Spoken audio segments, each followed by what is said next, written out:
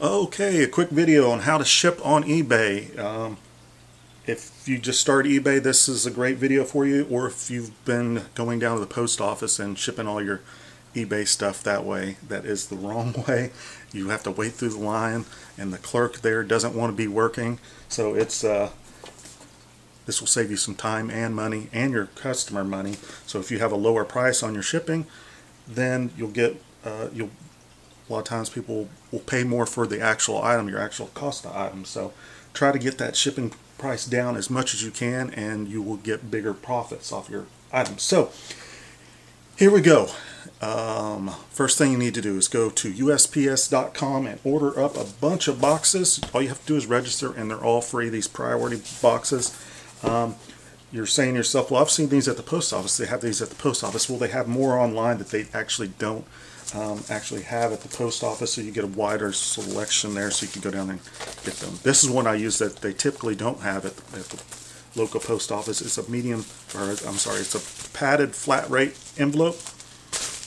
Very small, you can fit tons of stuff in here. Um, it's padded, so got a little bit of protection there. Um, this, this with the discount, if you do use eBay shipping labels, you get a discount. Yes, you do. So this would be just uh, just over seven dollars. Um, Another one which I use, which they don't typically carry at the local post office, is this regional rate box A.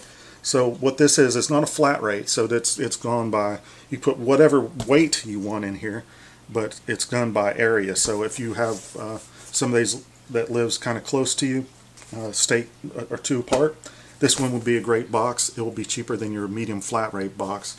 Um, so, but if it, you're shipping like on East Coast and you're shipping all the way out to uh, California, this might not be the box you want to go with. So, um, yeah, like I said, uh, eBay shipping labels, um, you'll get a discount when you use those. You'll also get a discount if you have a store and, and you're uh, using those. You get a little bit more of a discount. And also, if you're a top-rated seller, it gives you even a little bit more discount on the shipping. So keep that in mind. And when you're pricing out your shipping, remember that eBay is still taking a, a, a cut off your shipping. So even though they're giving you the discount, they're still your final value fees, they're still taking money that, that somebody paid for shipping. So keep that in mind and kind of help you calculate up.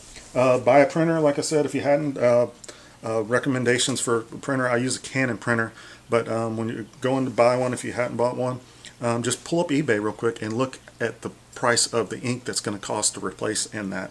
So my Canon printer, a whole set of ink only cost me $6 off eBay, shipped straight to my house, a complete set of ink for my printer. So uh, that keeps my cost fairly, fairly low. Um, also, if you own a store, store, you might have not been taking advantage of this. There's a $25 coupon that you get every quarter for eBay shipping supplies right here. So I just bought this, uh, a pack of 100 of these envelopes, which I use for first class um, shipping. Uh, for $22 with the coupon, they were free, but you have to pay tax, so I paid $2 for 100 of those. Uh, and that is great. Um, also, uh, different shipping options besides USPS.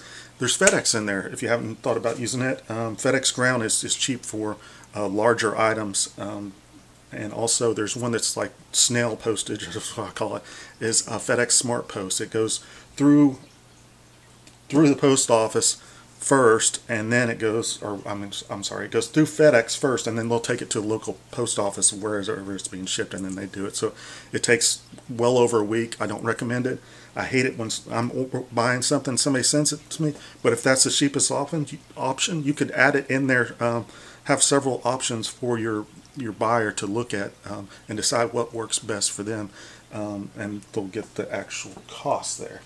Um, I think that's about it. If you have any questions, just leave a comment below. I'll have some other eBay stuff because I do I do buy and, lot, and sell a lot of stuff. But if you keep that shipping cost down, you'll make more profit off your actual item. Uh, just something to think about. And um, yeah, thanks for watching. If you have a question, leave a comment below and go ahead and subscribe. Thank you.